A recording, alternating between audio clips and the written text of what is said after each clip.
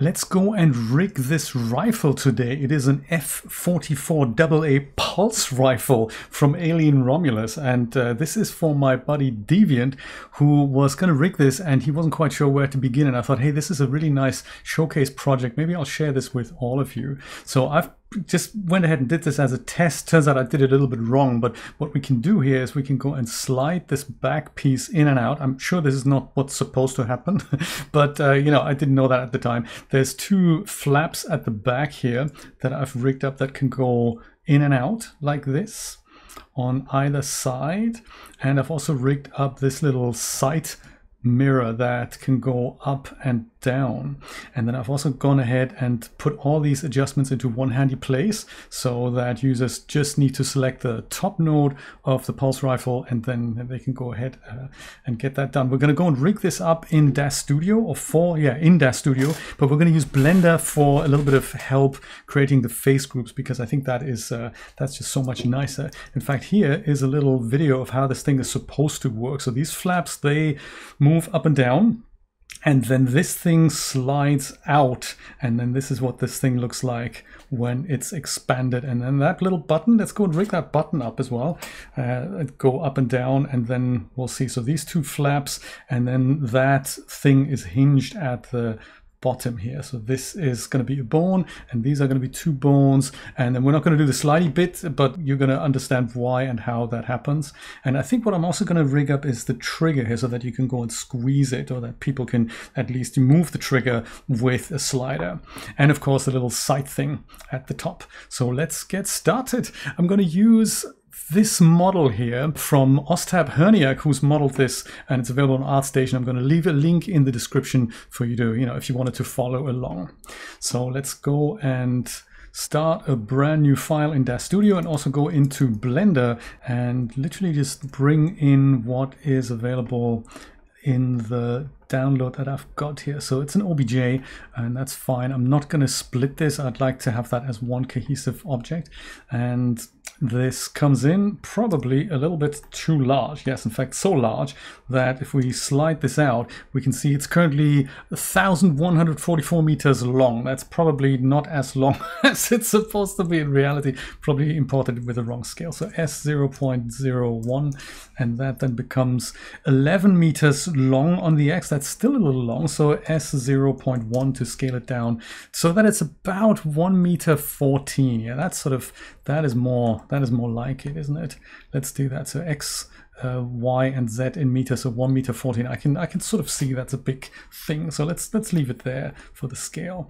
I'm gonna go and look at this from the side quickly and bring this up just a bit. So gz and I'll go and bring this up to here because that means as we export it, the pivot point is going to be at the bottom and fairly in the center rather than in the middle of the object.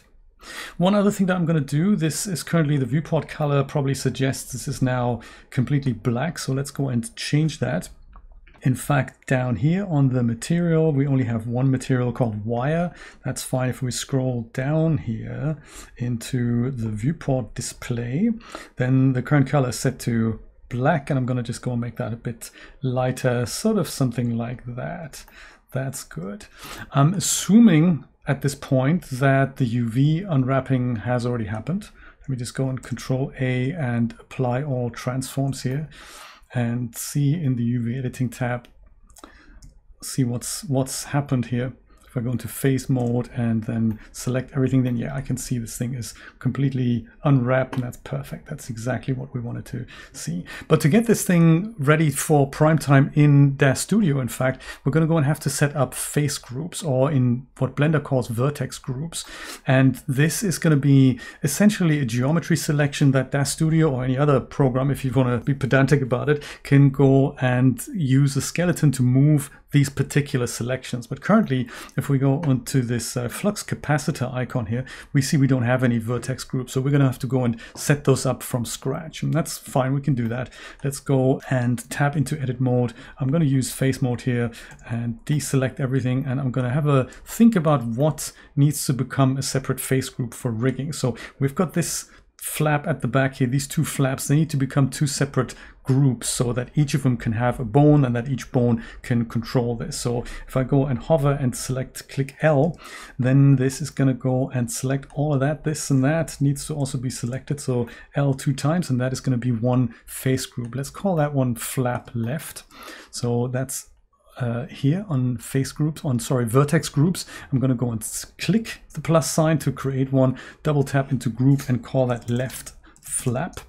And then I'm going to have to go and assign what I've just selected here. So assign that, and then I can go and deselect things. When I go and press select, then this is going to come back. So let's do the same with the other flap here. So hover over this, press L to select anything that is connected. These pieces as well are going to be added to that new group and we're going to call that one right flap.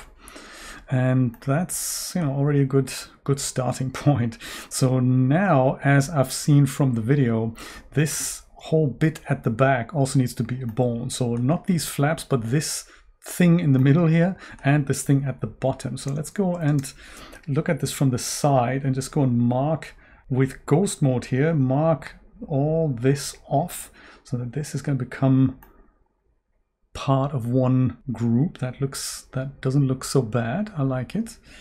Uh, I'll do that with Alt Z. That's going into and out of ghost mode, or you can also click this icon at the top here, or X-ray mode as they call it. I think uh, ZBrush calls it ghost mode.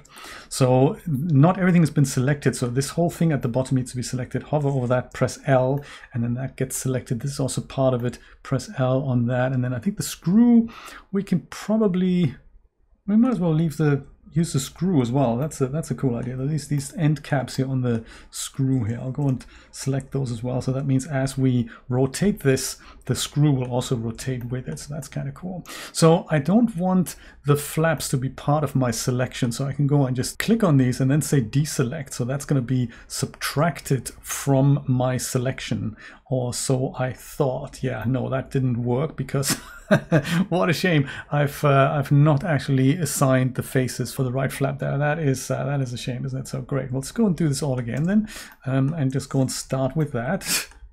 Sorry about this. I don't do this very often. So this is the right flap, right? So got to say assign before this can go any further. So select, yep, perfect. And that's also going to be perfect, great. So let's go and do this again. So in ghost mode, Alt Z. Let's select all of this, Alt Z, and we just go and hover and press L until we have all the other pieces selected here. Repetition makes perfect, doesn't it? So there we go. Now I can go and remove, deselect the left flap from that and deselect the right flap from that. And then what we're left with is sort of the back bit, I guess. Let's in fact call that the back bit. And for heaven's sake, assign it there we go. So that's that. In my version, I had also made this thing slide in and out, but it looks like that is not necessary. So that should give us everything we need here. So one other thing I'd like to set up is perhaps the trigger. So deselect everything, then hover over the trigger press L, and that's going to be the trigger. Turn that into a group trigger and then assign, very important. And then the other, one other bit at the top here was the sight. So deselect everything, hover over that, press L, and then all these pieces are going to become part of what we can go and rig up in DAZ Studio to go up and down. So that should be enough for that. You, I'm going to show you quickly also how you can do this in DAZ Studio directly, but I just find the selection tools are not as intuitive and as visible as we have it here. So with all this in place, let's tap out of edit mode and just go and save this as a blend file and then go and export this into DAZ Studio so that we can use it. So I've got it on a shortcut here, but really it's under File, Export, and then Wavefront OBJ. That's what we're gonna need for this. I'll just call this pulse rifle in my downloads folder here and I'm going to use one as my export scale and then down here I'm going to go and uh, select vertex groups so that this is actually going to become part of the file. That's important. Let's hit export and see what DAZ Studio thinks about this. So file import here, and then I'm going to go into here, pulse rifle, open that up. And as my import scale, I'm going to use the Modo scale. So that is meters, therefore it'll it'll work. So under custom, I'm going to pick Modo because, you know, not, not Blender, for heaven's sake, don't use Blender. because that's an old preset. So let's go do this. And this, there's a rifle. So that doesn't look so bad. So to prove that these things have actually come across, let's head over here to our geometry editor and then select the tool settings and we're going to have a look at the face groups here. Whoops, actually with the object selected. There we go here they are. And this is exactly what we've set up in Blender. We've also got a like a singular group that is basically everything else. It's just going to be called off and that's, you know, that's fine.